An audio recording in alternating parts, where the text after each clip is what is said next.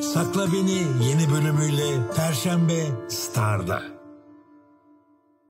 Allahu Ekber.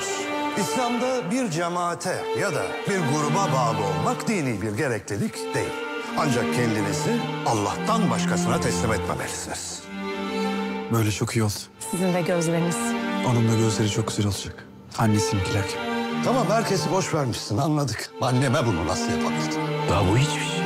Daha bir şey yaşamadı.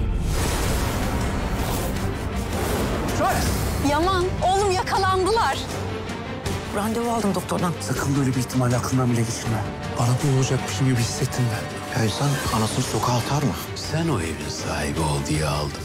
Sen değil. Baban senin eline bakacak artık. Bu evde senin hakkın. O sümsük karısının eline bakan kardeşinin değil. Şimdi görecekler asıl. Gamze sen bu çocuğu istiyor musun istemiyor musun? Bana açık açık söyle. Bilmiyorum. Benim çocuğum dünyaya gelecek. İnsan olan herkes dünyayı da yakar. Niye biliyor musun? Çünkü yanmak güzel şey. İyi düşündün mü Tayyip? Evi istiyorum. Bundan sonra benimle misin değil misin?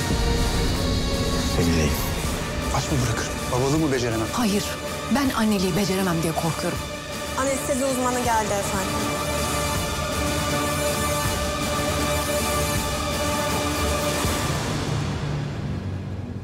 Ömer yeni bölümüyle Pazartesi Star'da.